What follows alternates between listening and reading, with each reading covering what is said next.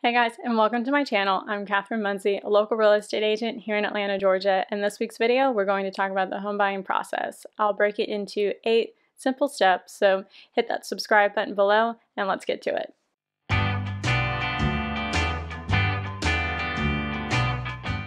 Step one is to hire a real estate agent. Now, the reason I say this is because they'll be able to advise you and coach you and walk you through the entire process. Also, real estate agents have a list of preferred vendors. So these are going to be mortgage lenders that they've worked with many, many times. And so before you go to apply for a mortgage, they may have one or two recommendations for you. Step two is to organize all your documents. You're going to need W 2, bank statements, previous tax returns, and things of that nature. Step three, apply for a mortgage. Now, most people apply for a mortgage online. I recommend applying for between like three and four. I suggest using the lenders that your real estate agent has recommended, as well as a local credit union, possibly your bank or an online bank. And I know what you're thinking. It's going to ding your credit and is, however, if you apply for a mortgage within a 30 day period, it'll only ding your credit once. So if you apply at four different places, you're not going to get dinged four times because you're applying for the same type of loan. Once you've applied online, it usually takes two to three days to hear back, and you'll receive a pre approval letter. And the letter will state that you're pre approved for 250,000 or 500,000 and things of that nature. And I know what you're thinking. You're like, oh man, this is a lot of money, this, that, and the other. However, uh, this is the, the, maximum amount that the lender is willing to let you borrow. And so I would keep that into consideration when you're making your budget and when you're deciding how much you want to spend on a mortgage a month.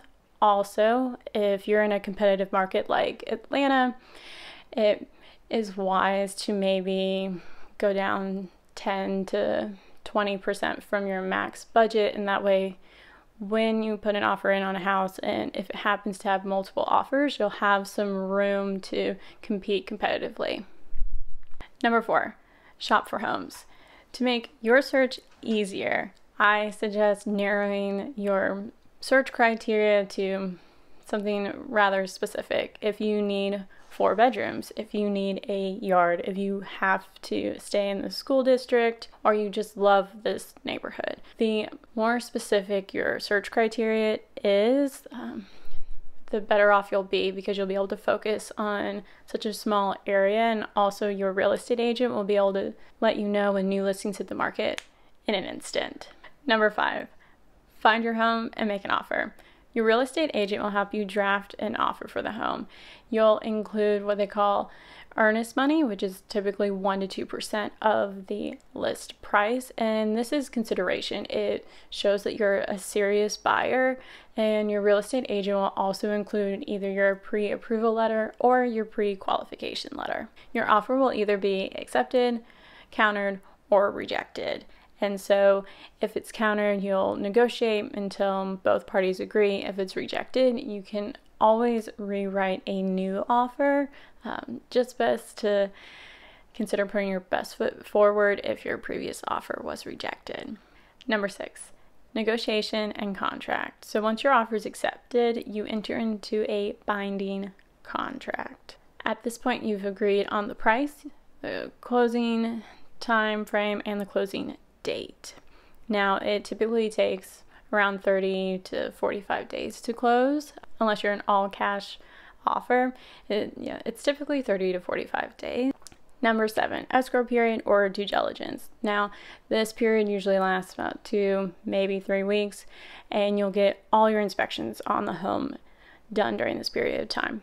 So, your home inspector will come out. I highly suggest that you attend this if you can't attend the entire duration because they do last several hours. I highly suggest arriving within the last hour to, to 90 minutes, and that way the home inspector will be able to walk you through any troublesome areas of the home and they'll be able to explain to you why they are troublesome. So it's just, it's a great, it's just a good bit of knowledge. Um, What will also occur is that the house will be appraised by a third party, and so an appraisal will come out and assess the value of the home.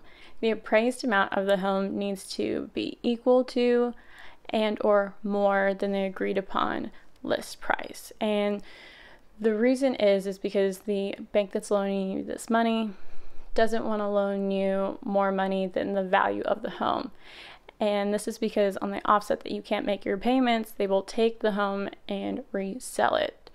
So they're trying to cover all their bases, so to speak. For example, if you make an offer on a home that's $200,000 and the appraisal amount comes back at 210, that's great. You have $10,000 worth of equity.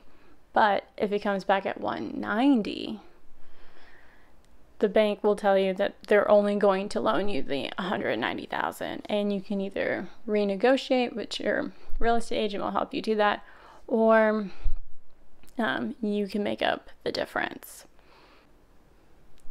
Number 8, closing. The best part of home buying. And so at this point or actually a few days before, your lender is going to ask you to resubmit the documents that they originally requested, such as W 2s, pay stubs, bank statements.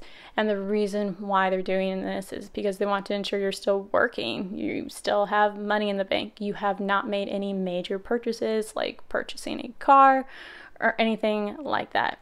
And so during closing, you will sign tons of paperwork transferring the title from the seller to you. You will receive your keys, any sort of garage clicker, anything like that.